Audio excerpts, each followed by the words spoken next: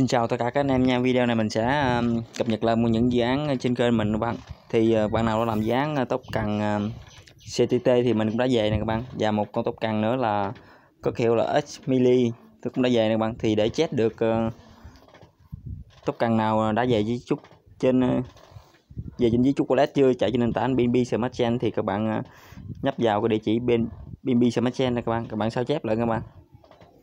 Mình hướng dẫn các bạn uh, check coi những cái tóc cần nào mình làm airdrop nó có vậy chưa các bạn. Thì các bạn mở link form ra nè. Con mở google ờ, ra các bạn gõ lên bsc scan là tự nó ra là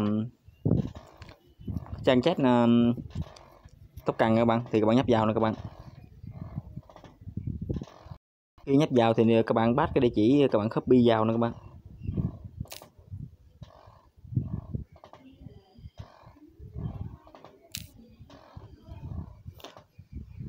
Rồi các bạn à, bấm nút gỡ nha tất cả các bạn.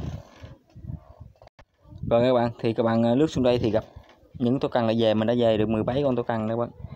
Thì các bạn lướt xuống các bạn tìm à, con tóc cần đó nha các bạn. Thì mình tìm con tóc cần và một tóc cần sư TFT đúng nó mới về nữa các bạn. Thì các bạn lướt vào các bạn nhấp vào một um, million các bạn thì đây là con chắc của nó nè các bạn. Các bạn copy con chắc nè các bạn. Rồi các bạn bắt up lại. Rồi các bạn mở địa chỉ chocolate cho mình ra nè các bạn.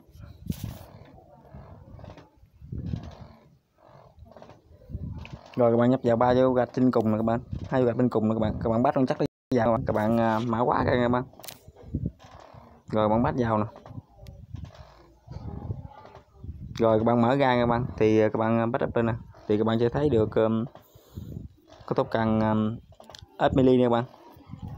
Ok như vậy mình hướng dẫn các bạn uh, check coi uh, con chắc tóc cần đến đây cũng kết thúc các bạn. Mình chào tạm biệt tất cả các bạn hẹn tất cả các bạn vào những video clip tiếp theo từ mình nhé.